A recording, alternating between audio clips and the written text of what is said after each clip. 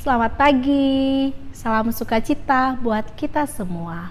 Mari kita bangkit berdiri dan kita akan memulai kebaktian kita dengan menyanyikan bertemu dalam kasihnya.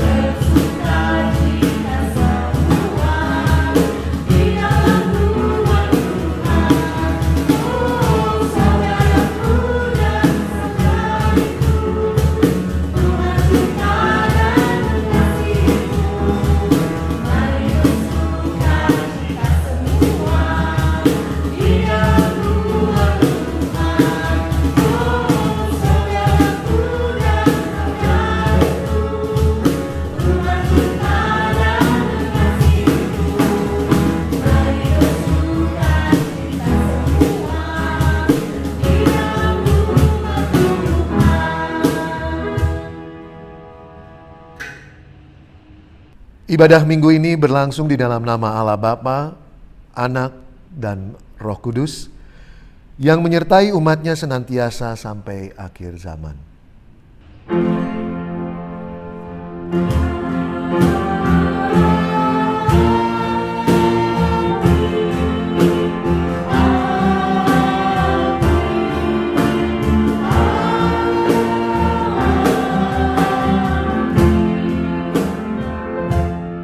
Kasih karunia dari Allah Bapa, Anak, dan Roh Kudus beserta saudara sekalian.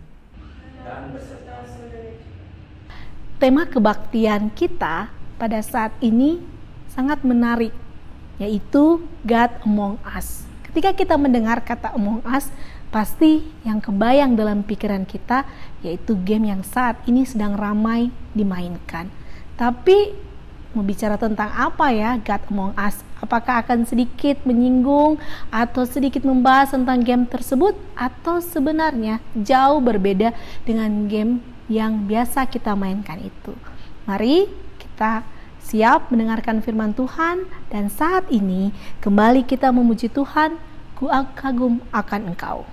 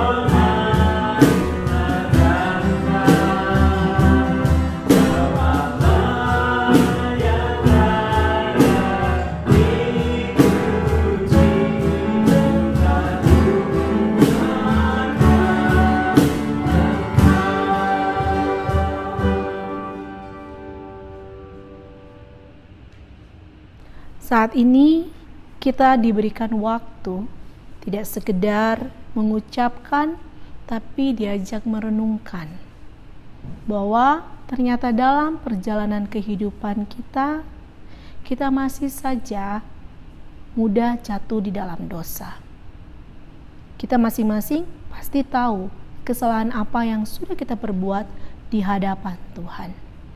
Mari kita mengambil waktu sejenak dan kemudian dengan penuh kerendahan hati serta keberanian untuk mengakui kesalahan dan perbuatan kita yang sudah tidak berkenan di hati Tuhan. Mari kita mengambil waktu teduh kita. Bapa, memang kami sadar sebagai manusia kami ini terbatas. Kami tahu dengan persis bahwa itu salah, itu keliru. Tetapi kami begitu mudah jatuh dan kembali lagi mengulang dan mengulang hal-hal yang menyakitkan hati Engkau. Kalau bukan karena kebaikanmu, kalau bukan karena kasihmu, kami mungkin tidak bisa terus beraktivitas, melanjutkan kehidupan kami, serta masih diizinkan menerima berkat. Tuhan kami memohon untuk Engkau mau mengampuni dosa kami, dan kami sangat memohon penyertaan Roh Kudus agar kami semakin bijak, semakin lebih berhati-hati, dan kami dalam bertindak selalu mengingat Tuhan Yesus beserta firman-Nya. Ampunilah kami Tuhan Yesus dan terima kasih untuk setiap pengampunanmu dan biarlah kami akan semakin dewasa dan terus berusaha menjadi manusia yang lebih baik. Hanya ke dalam tanganmu kami berdoa. Dan mari kita menaikkan pujian tetap setia.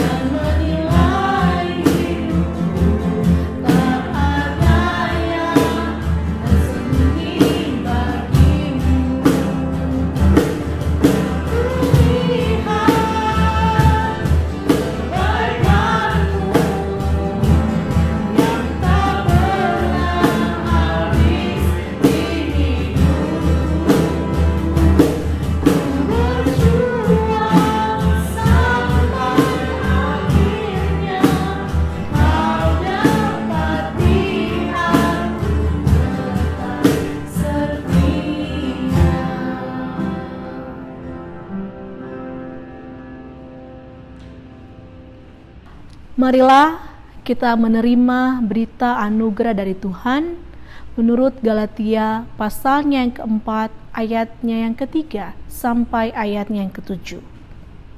Demikian pula kita, selama kita belum akil balik, kita takut juga kepada roh-roh dunia. Tetapi setelah genap waktunya, maka Allah mengutus anaknya yang lahir dari seorang perempuan dan takluk kepada hukum Taurat ia diutus untuk menebus mereka yang takluk kepada hukum Taurat, supaya kita diterima menjadi anak. Dan karena kamu adalah anak, maka Allah telah menyuruh roh anaknya ke dalam hati kita, yang berseru, Ya Abah, ya Bapa. Jadi kamu bukan lagi hamba, melainkan anak. Jikalau kamu anak, maka kamu juga adalah ahli-ahli waris oleh Allah. Demikianlah berita anugerah dari Tuhan. Mari dengan sukacita kita memberikan salam damai.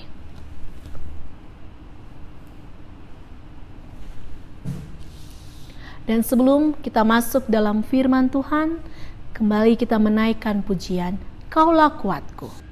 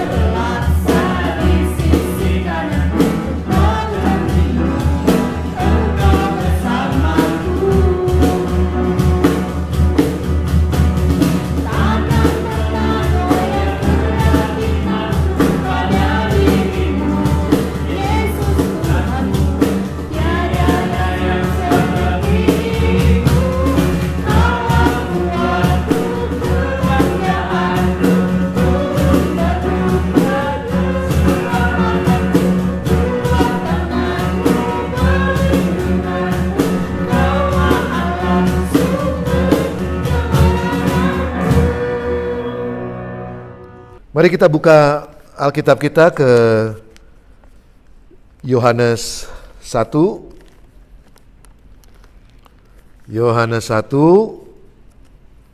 ayat 1 sampai 14 Yohanes 1 ayat 1 sampai 14 dan tentunya sebelum kita memulai membaca firman Tuhan, mari kita bersama-sama menaikkan doa.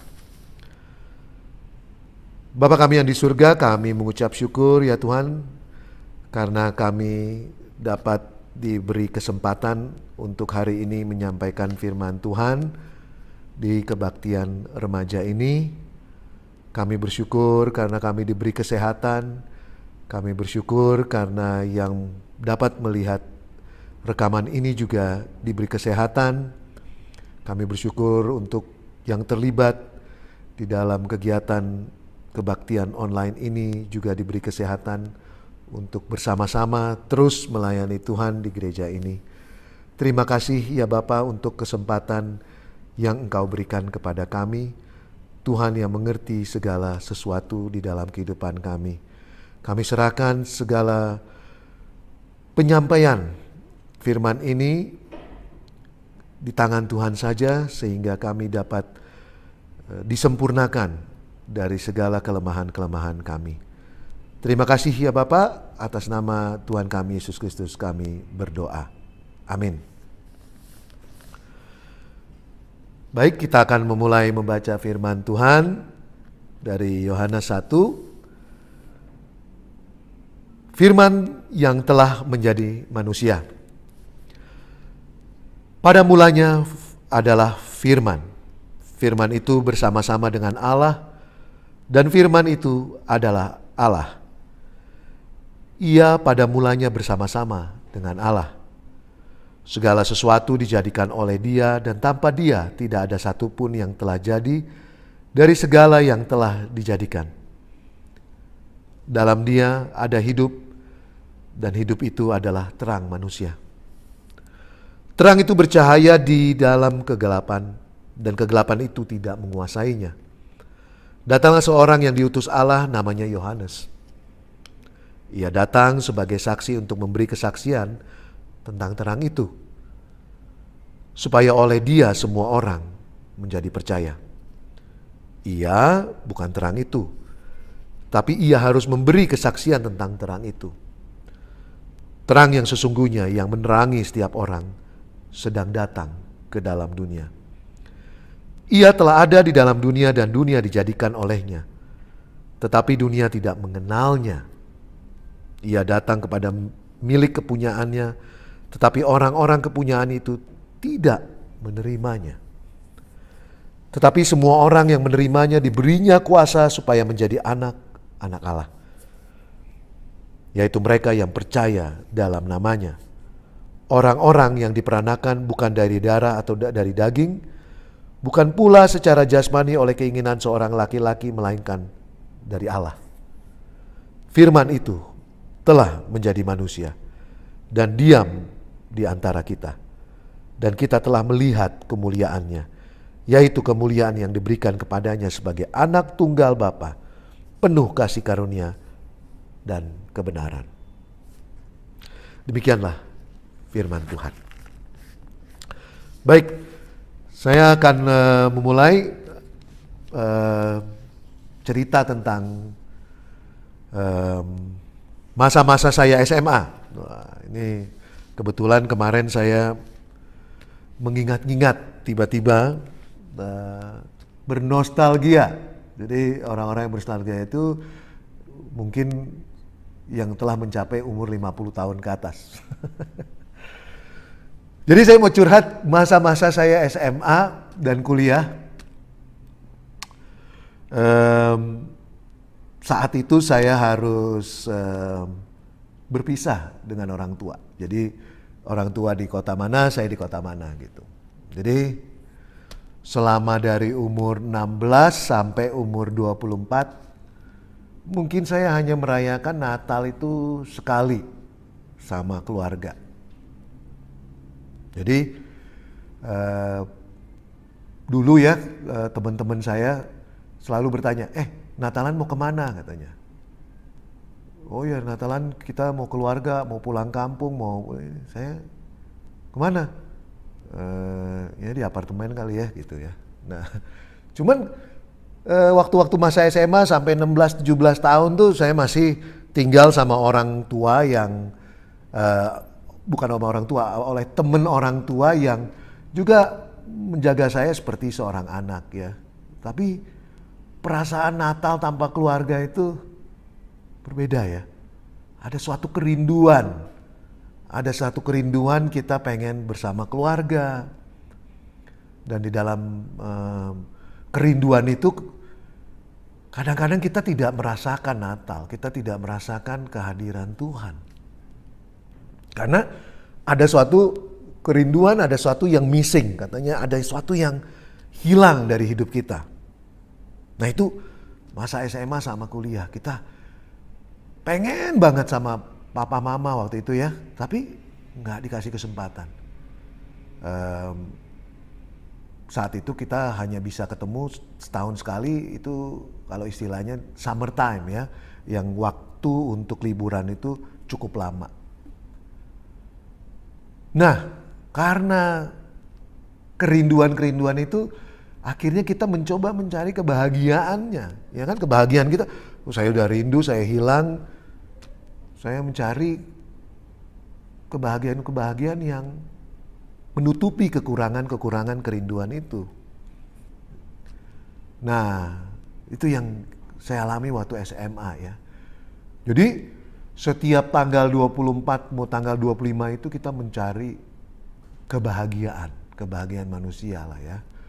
Wah, kita cari konser, kita nyari ya kegiatan-kegiatan, kegiatan-kegiatan untuk menghilangkan rasa rindu kepada keluarga saat itu. Dan berjalan terus, ya. Dan lucunya saya menemukan aktivitas uh, gereja ya kan? Setelah kuliah saya mulai aktif di gereja sebagai pemuda tuh ya. Pemuda senang karena ya itulah ya yang namanya pemuda uh, tapi sayangnya ayah saya sudah tidak ada saat saat saya uh, lulus ya jadi harus ada pengganti lagi nih ceritanya kan jadi sebagai pemuda aktifnya bukan main sama saya sering tidak merasakan Natal. Karena kesibukan itu. Jadi saat saya menjadi aktivis, yang ada ngedumel. Saya yakin banyak pemuda di sini juga pernah merasakan rasa yang saya alami ya. Ngedumel karena kenapa? Karena yang dekor ya itu-itu aja ya kan, yang main drama ya itu-itu aja. Udah Capek setiap Natal itu-itu aja katanya, ya kan? Itu saya ngalamin banget. Jadi yang ada kalau mau Natal itu udah ya enggak deh, sebulan sebelum Natal pasti udah mulai menghindar karena pasti panitia udah mengincer ya kan. Terus kalau udah mau pasca pasti juga udah mulai menghindar, tapi yang namanya panggilan Tuhan pasti kita tidak bisa nolak. Namanya juga panggilan Tuhan. Ada satu rasa di hati itu yang ya deh walaupun ngedumel, walaupun kesel, pasti kita iya aja. Seperti waktu saya di, saya sudah janji sama Tuhan.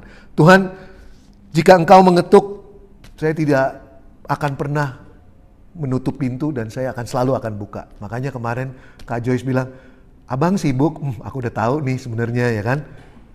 Pasti saya bilang iya karena karena ayat ini sebenarnya karena ayat ini sih sebenarnya. Ayat ini itu sangat powerful untuk hidup saya saat saya hilang dari rasa Natal, hilang dari rasa Natal karena dulu rindu dengan keluarga jadi mencari kebahagiaan-kebahagiaan yang sementara. Saya menjadi aktivis, saya menjadi ya dulu di, di, diberi kesempatan oleh gereja untuk menjadi majelis juga Bodoh, capeknya bukan main. Apalagi kalau udah ada drama yang jam setengah empat pagi kita udah harus hadir, ya kan? Ngedumel. Nah ayat inilah yang yang membuat saya sebenarnya waktu itu berubah dan saya menikmati panggilan Tuhan itu. Saya menemukan ya, jadi saya juga tidak mau uh, sharing ini ini seolah-olah kesaksian diri saya, bukan, bukan itu. Karena firman itu di atas segala-galanya ya. Nah, Tuhan saat waktu SMA, waktu kuliah, waktu saya saya menjadi uh, aktivis yang sedang mencari kesibukan karena kerinduan-kerinduan itu, uh, saya tidak merasakannya. Saya tidak mengenalnya. Yang saya kenal itu adalah saya mencoba mencari kebahagiaan. Dan rupanya kebahagiaan itu rupanya sementara, ya apalagi waktu pertama kali kami nikah sama sama sama istri saya ya yang jadi kalau ke, kebiasaan di, di di keluarga saya yang Batak ya yang dari suku Batak ya kalau namanya Natal mungkin dari bulan November itu udah persiapan udah persiapan apa yang mau akan dimasak apa yang harus kue apa itu itu dari dari opung itu udah udah Natal. Wah, it's coming. It's coming gitu. Jadi pohon Natal 1 Desember udah ceng ya kan. Ketemu istri yang yang kebetulan tidak pernah merasakan itu. Jadi di tahun-tahun pertama kami itu kita mungkin ngambek-ngambekan karena saya merasa harusnya kamu tahu harus ada kue-kue ini gitu. Nah, Natal jadi suatu sumber keributan. ya kan? Jadi sama keluarga jadi Natal kami tidak merasakan. Kalau lagi latihan drama atau kegiatan memasak-memasak jadi tidak dirasakan. Apalagi kalau mencari kado Natal ya. Kalau anak-anak saya, "Pah, Natal is coming." Ya kan dia udah tahu tuh setiap tanggal 26 pasti buka-buka kado, ya kan?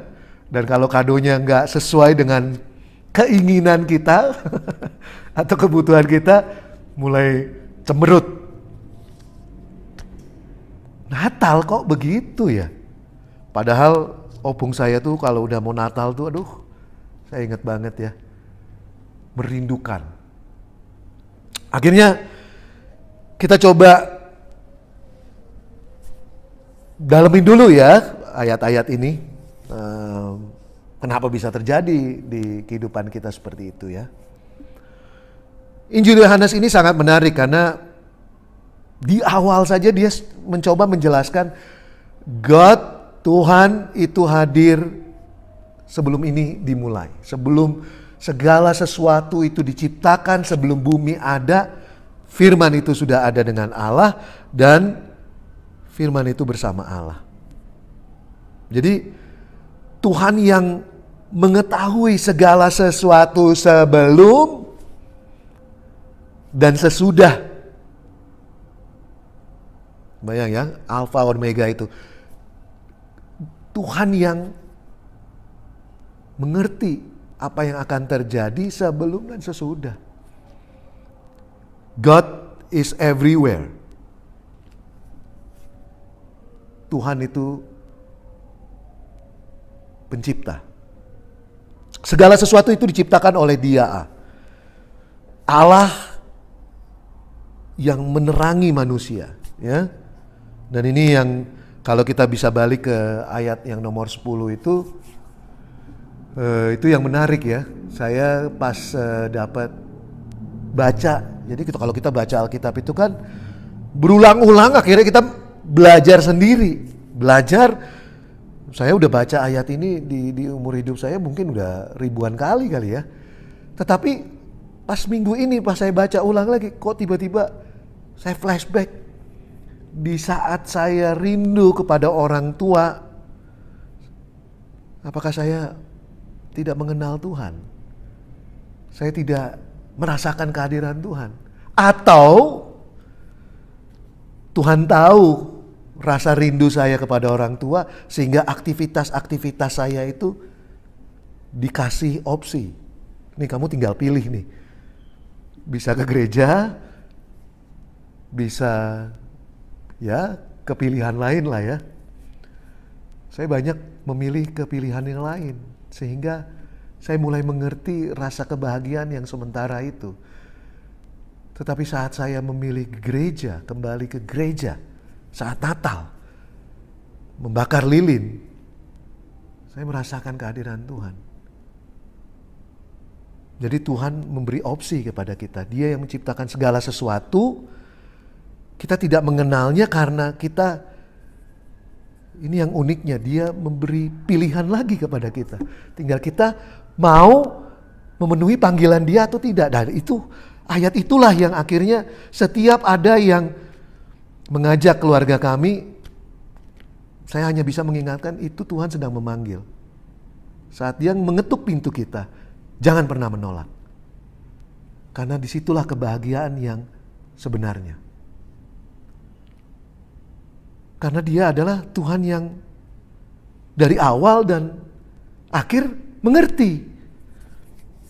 Jadi ibaratnya kalau misalnya film, kalau saya ngebayangnya adik-adik ya, dia udah tahu nih, oh kamu akan begini, ada berapa berapa scene lah ya. Ini kamu akan begini begini. Aduh, dia memilih, dia akan menangis saat kita tidak memilih dia. Karena kita tidak mengenalnya.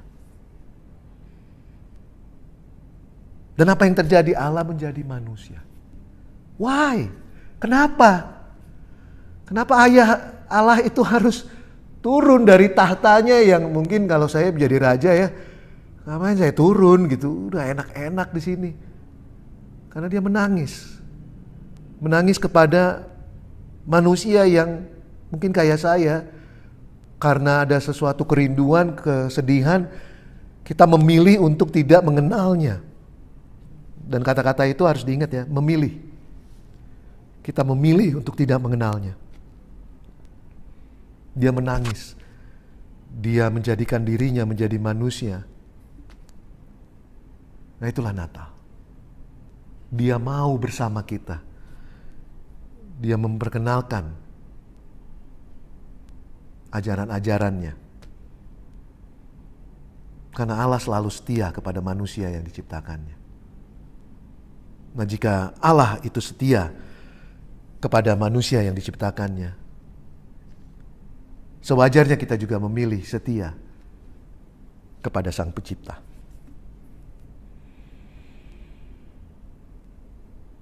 Untuk adik-adik, ya, arti kata setia itu saya belajar kemarin dari keponakan saya yang baru pindah dari Jakarta dan tinggal di Bandung, di sebenarnya di Bandung Timur ya.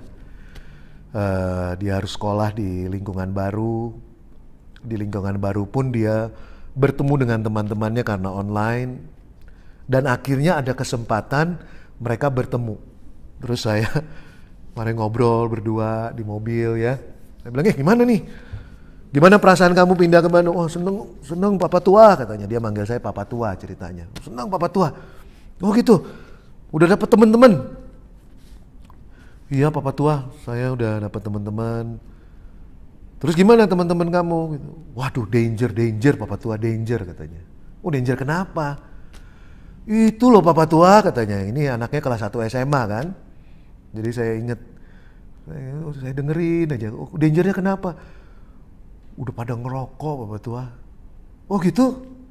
Iya. Terus yang lebih danger lagi apa? Waduh saya udah mulai panik nih. Apa? Jadi saya potong pembicaraan kita berdua. Kenapa? Narkoba? Apa? Apa? Enggak, Bapak Tua. Dia sampai mikir, kok Bapak Tua ngomongin narkoba ya? Apa yang danger saya bilang? Itu loh Bapak Tua. Suka amer, apa itu Amer? Anggur merah papa tua kata. Uh benar-benar kayak saya sebagai orang yang papa yang benar-benar tua ya. Saya nggak ngerti istilah Amer. Anggur merah papa tua katanya. Oh jadi nongkrongnya gimana sekarang? Zaman now ini kayak gimana sih? No? Iya papa tua kita ketemu ngobrol-ngobrol. Udah deh ada yang ngeluarin rokok dan dan semuanya pada Amer katanya.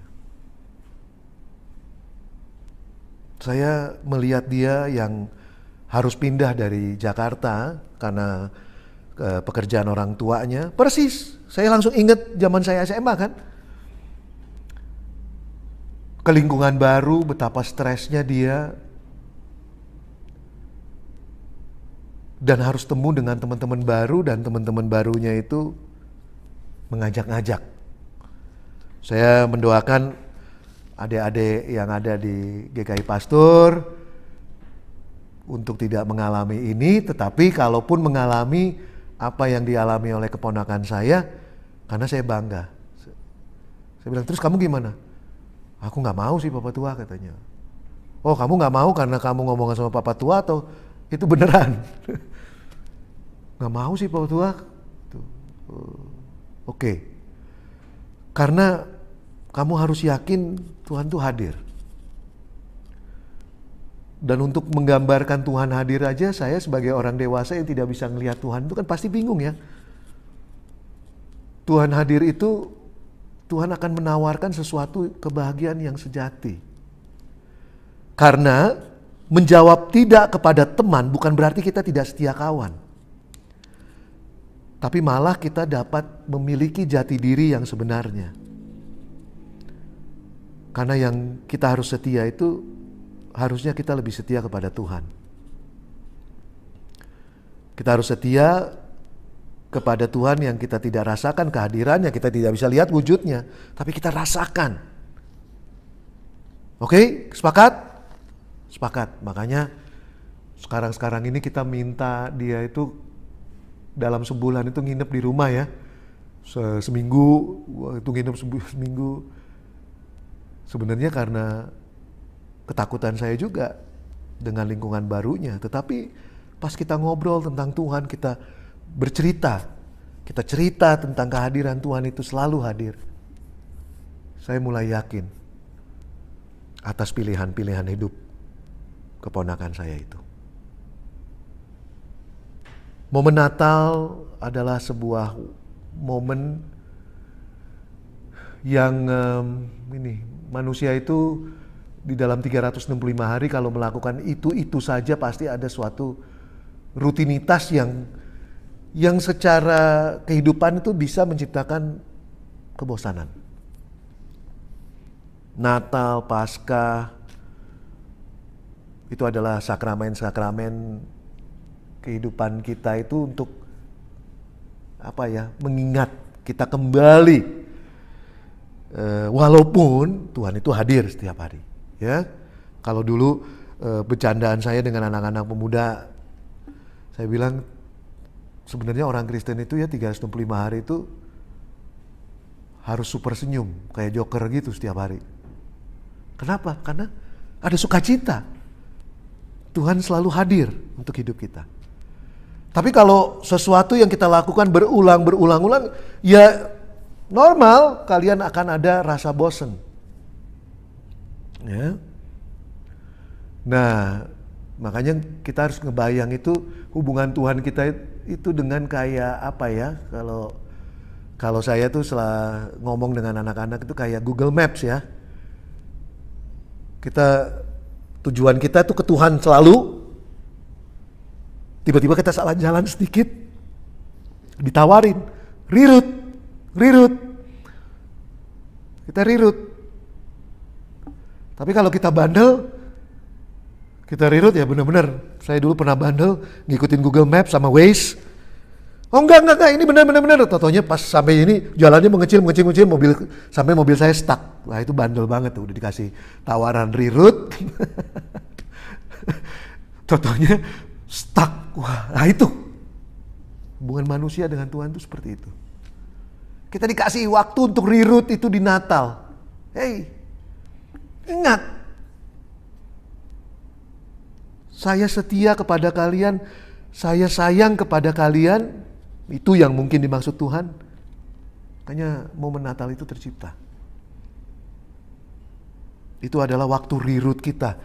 Jika saat ini adik-adik di dalam kebosanan, apalagi yang uh, kerjanya sekolah di rumah terus ya, Eh, anak-anak saya juga di rumah terus ya kan ketemu mama yang di rumah terus ya. Kayak kemarin tadi malam saya mengingat kembali pengalaman kita di rumah terus. Saya stres kerja mama stres tidak bisa ngajar lagi. Anak stres karena online terus ketemu di dalam satu rumah. Ut, kebayang ya semua orang-orang stres ketemu. Akhirnya menciptakan yang namanya sumbu pendek ya bluar. Di situ kita mulai belajar ya melalui ibadah-ibadah online, kita ngobrol, kita menciptakan komunikasi.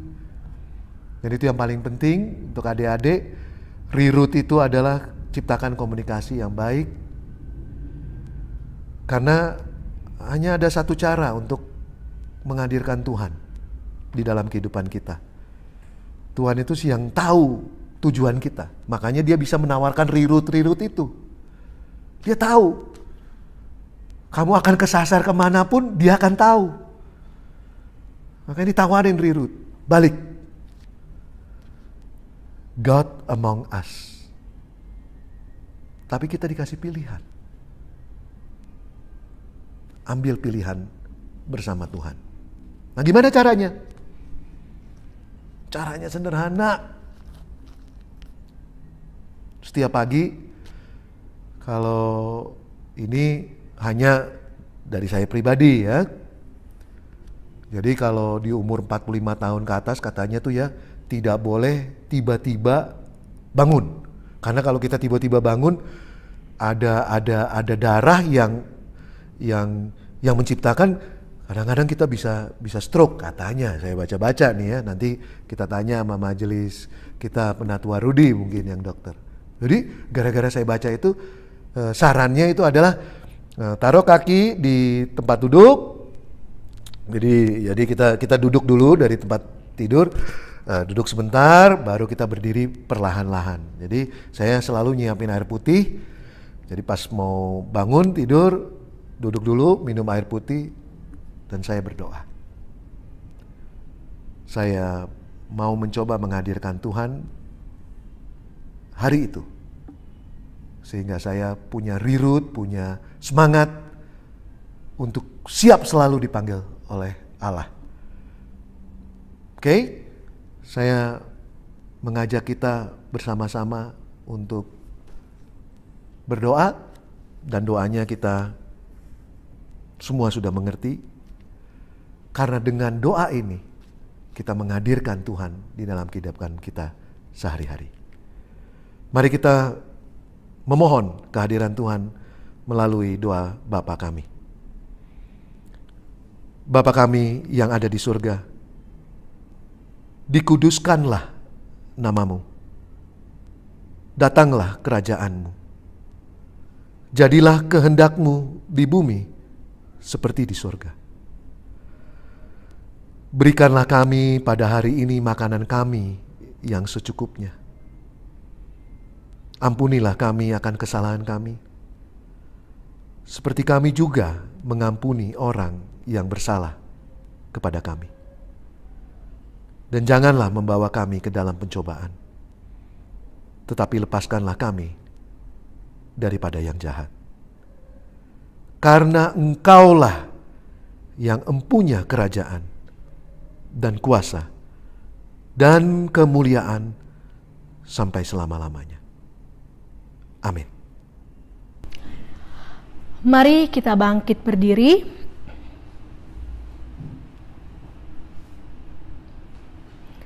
Dan mengikrarkan pengakuan iman rasuli seturut pengakuan iman yang berbunyi demikian. Aku percaya kepada Allah, Bapa yang Maha Kuasa, Kali langit dan bumi, dan kepada Yesus Kristus, anaknya yang tunggal, Tuhan kita, yang dikandung daripada Roh Kudus, lahir dari anak darah Maria, yang menderita sengsara di bawah pemerintahan Pontius Pilatus, disalibkan, mati dan dikuburkan, turun ke dalam kerajaan maut. Pada hari yang ketiga, bangkit pula dari antara orang mati, naik ke sorga, duduk ke sebelah kanan Allah, Bapa yang Maha Kuasa, dan dari sana ia akan datang untuk menghakimi orang yang hidup dan mati. Aku percaya kepada Roh Kudus, kerajaan kudus dan am, persekutuan orang kudus, pengampunan dosa, kebangkitan orang mati, dan hidup yang kekal.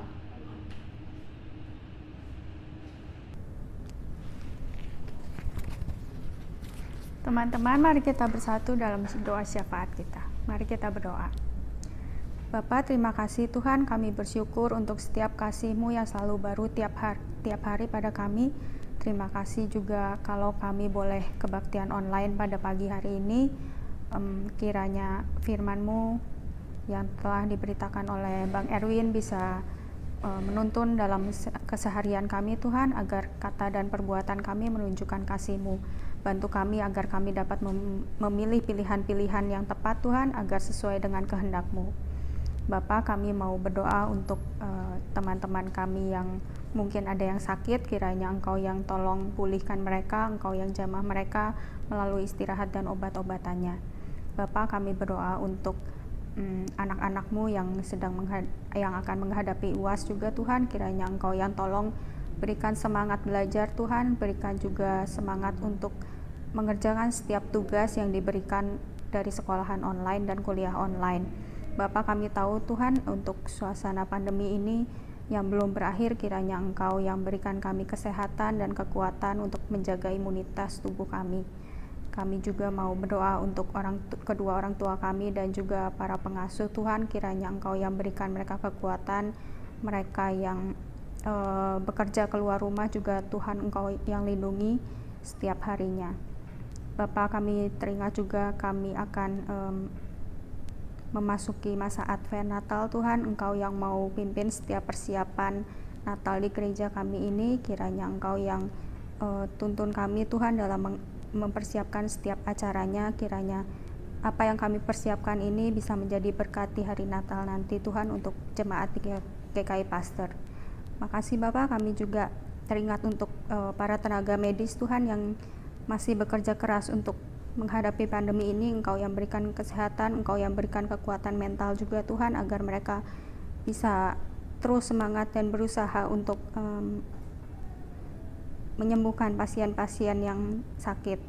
Bapak berdoa juga untuk pemerintahan Tuhan kiranya Engkau yang berikan kebijakan kepada mereka untuk setiap keputusan-keputusan untuk bangsa dan negara ini Tuhan kiranya Engkau yang pimpin negara ini dengan tanganmu sendiri agar bangsa ini mampu menghadapi setiap masalahnya.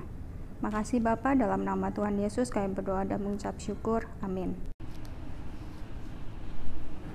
Mari setelah kita menerima ampunan dosa dan berkat, kita mempersembahkan tanda sukacita kita Salah satunya melalui persembahan yang sudah kita siapkan dengan selalu mengingat firman Tuhan yang terambil dari Mazmur 30 ayatnya yang ke-12 sampai ayatnya yang ke-13.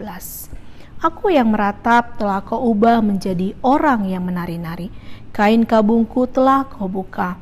Pinggangku kau ikat dengan sukacita supaya jiwaku menyanyikan mazmur bagimu dan jangan berdiam diri Tuhan Allahku untuk selama-lamanya aku mau menyanyikan syukur bagimu.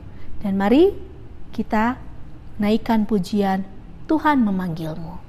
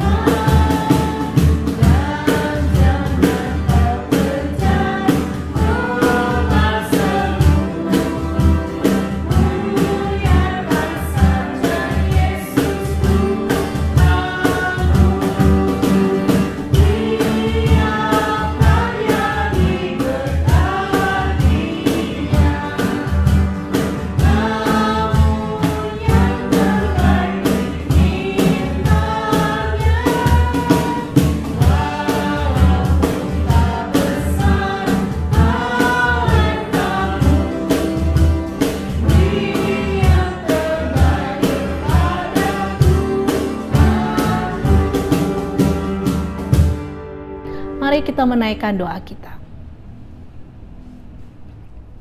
Kami tahu Tuhan, kehidupan kami adalah persembahan yang sejati. Dan kami ingin mewakili rasa syukur kami karena Tuhan senantiasa menjaga dan melihara kami melalui sedikit persembahan kami ini, agar mampu membantu serta akan dikelola dengan baik untuk gereja kami GKI Pastor dan biarlah kami mampu juga menggunakannya dengan bijaksana dan pada akhirnya pertumbuhan kami sebagai jemaat di gereja ini boleh semakin baik hari lepas hari. Inilah kami Tuhan Yesus yang hanya mampu memberi seperti ini, tapi kami percaya Tuhan menerimanya dengan penuh sukacita. Di dalam nama Tuhan Yesus, kami sudah berdoa. Amin. Dan saat ini kita menaikkan pujian, Yesus menginginkan daku.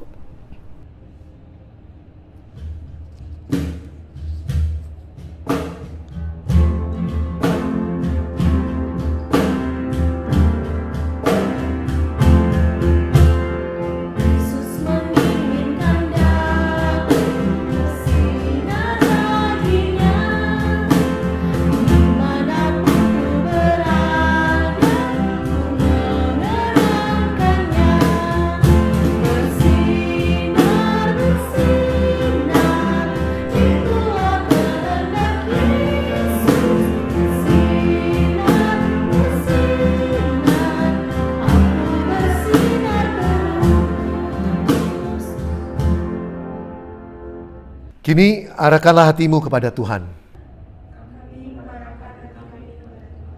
Jadilah saksi Kristus.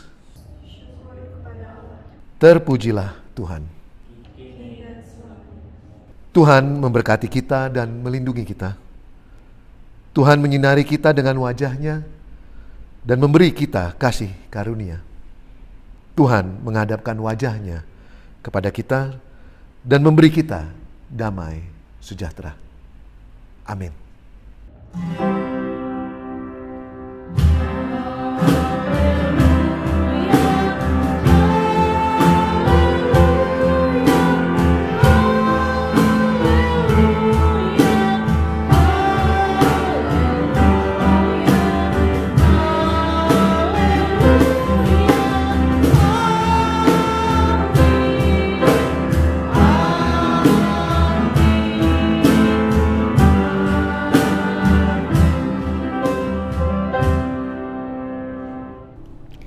Selamat hari Minggu, selamat melanjutkan aktivitas dan tidak lupa selalu ingat firman Tuhan dan menjadi berkat bagi sesama kita. Tuhan berkati.